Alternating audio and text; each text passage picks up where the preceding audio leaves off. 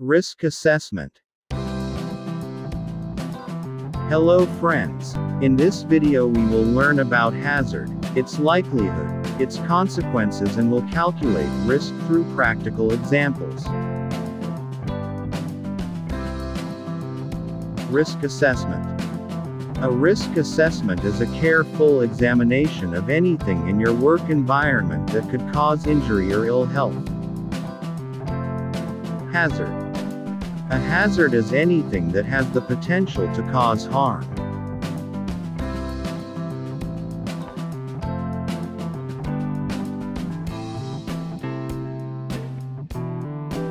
For a hazard to cause harm, a hazardous event must happen.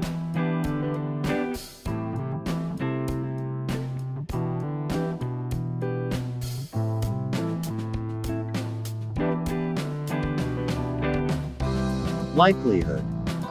The likelihood is the chance that the hazardous event will occur. Consequence. Consequence is the outcome of the hazardous event. Risk. Risk is the combination of the likelihood of a hazardous event occurring and the consequence of the event.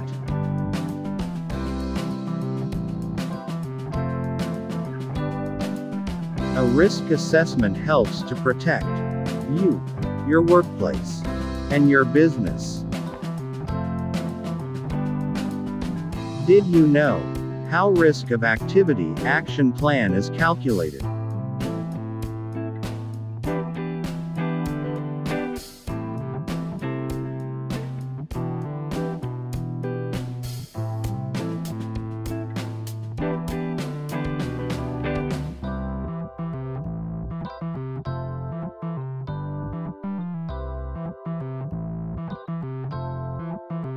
We will calculate this risk step by step. First step is to list work tasks, including location, people, equipment, and the activities.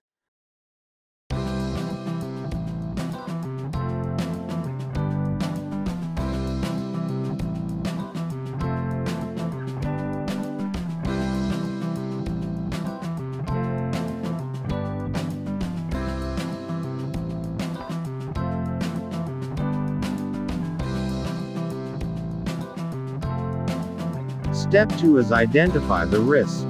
What are the hazard? Who might be harmed? And how they be harmed? Step 3 is eliminate the risk. For this you need to consider these two things 1. How likely is it that something could go wrong? 2. How serious would the outcome be? Likelihood is to be examined closely while conducting risk assessment. Likelihood of the hazardous event will increase if control measures, equipment being used are not effective. This picture shows that likelihood is increasing towards right side due to poor equipment.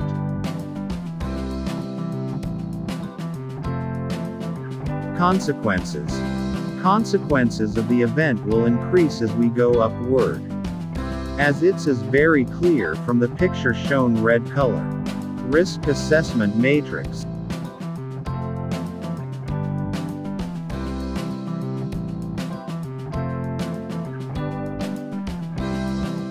In Risk Assessment Matrix, we will calculate the risk by combining likelihood and consequences.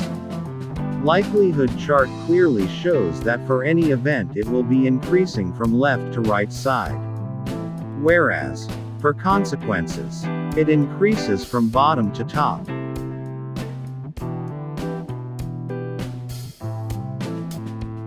And the risk which is combination of likelihood and consequences increases diagonally right upward with a nomenclature, unacceptable. Whereas at bottom left it will be, acceptable. Which is low risk rating.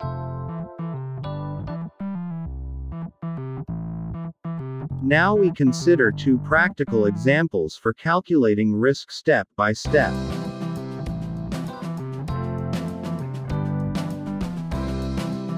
First example is about cabinet market.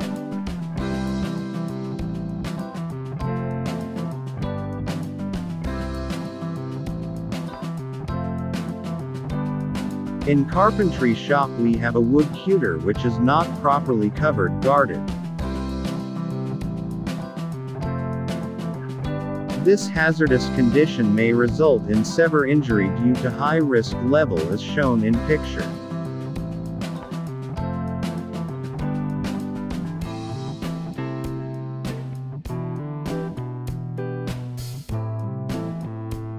But if the cutter is guarded covered then risk level will be reduced as in this case likelihood of harm will be reduced. Second example is the painting activity.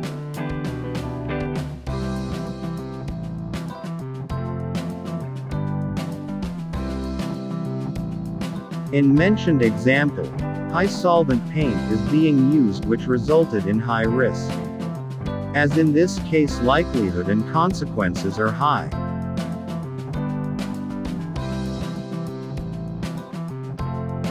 But if we replace the paint with low solvent then risk will be reduced as in this case consequences will be reduced. Similarly, another high solvent paint is being used in painting activity, Risk level of this activity is also on higher side as consequences and likelihood are high. Now, if we isolate the activity and reduce the exposure of paint hazard then risk level will be reduced, acceptable as in this case both likelihood and consequences will be reduced. Residual risk. Any risk that remains after control has been implemented is called residual risk. And in below charts we can observe the residual risk of different activities. Risk control strategies. Risk control strategies are based on ERICP.